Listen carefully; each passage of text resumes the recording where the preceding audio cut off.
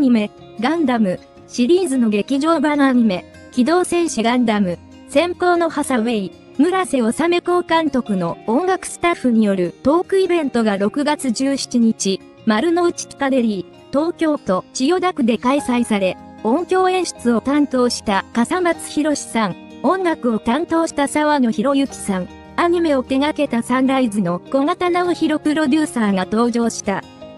小型プロデューサーは、企画当初から、音にこだわりたいと思っていたといい、笠松さんは、40年の歴史がある作品なので、いかにその歴史を崩さず、いかに現代っぽくするか、というところでとても苦労しました。音は変わっているとはいえ、ファーストガンダムの面影が残っているといいな、と思って作っていましたねと話した。沢野さんは、機動戦士ガンダム UC、機動戦士ガンダム NT の音楽も手掛けており、今回は大人のガンダムというところで、多くの楽曲はメロディーを抑えて、メインテーマにメロディーが強いものをという思いで作っていきましたと語った。沢野さんは、アニメのダンスシーンについて、音楽を作った際にそこまでのエフェクトはかけていなかったので、ダビングならではだなと思いました。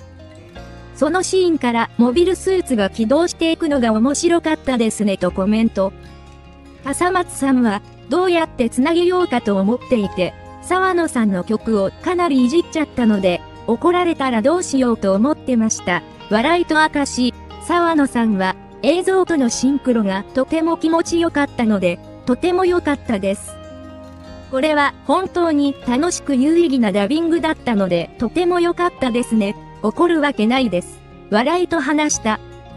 先行のハサウェイは、1989から90年に富野義行監督が発表した小説が原作。宇宙世紀0105年を舞台に第二次ネオジオン戦争で苦い別離を経験したブライトノアの息子ハサウェイが新型モビルスーツ、クザイガンダムを買って地球連邦政府に反旗を翻す姿を描く。